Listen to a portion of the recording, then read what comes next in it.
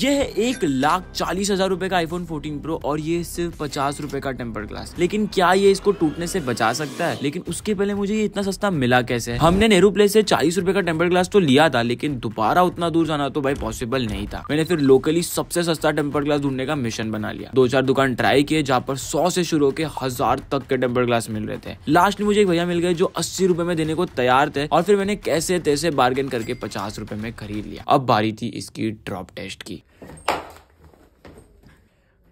कुछ हुआ नहीं। पचास रुपया रिकमेंडेड